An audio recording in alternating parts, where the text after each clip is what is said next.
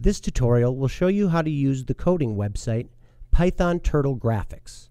This is available on code.org's Hour of Code. To begin, you can go to code.org and you will want to click on Try It. That, that brings you to the Hour of Code tutorials and challenges and games that they have. If you scroll down a little bit, you will find Turtle Graphics right here.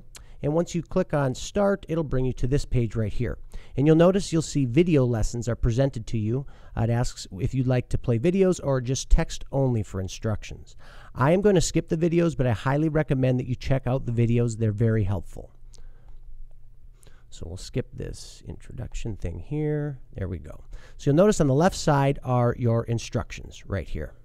Um, on the middle portion, this is the text editor or the code editor and that's where you enter your code. And once you've entered code, you can click on Run to bring up the canvas here. If the slider is over on My Canvas, that is the code that you created. And if the canvas or the slider is all the way over on the solution canvas, that is like the answer key or the correct um, solution.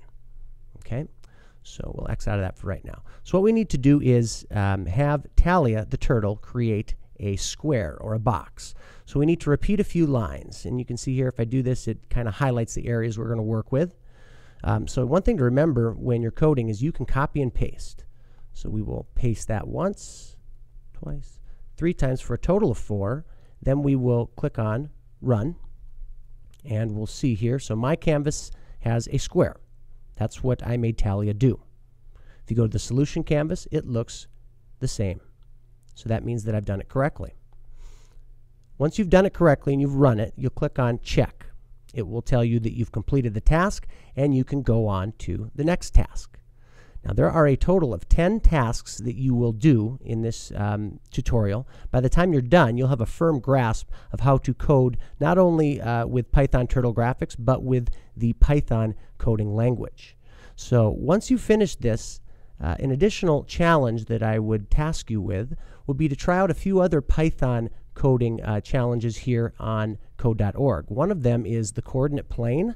So if we look for this one, I'm doing a search just to help out here. Okay, so the coordinate plane is one right here um, that uh, utilizes Python coding. and the other one is uh, Trinket's Hour of Code. Uh, hour of Python, I should say, right there. Click on Start. And you can try out your Python coding skills on that website too.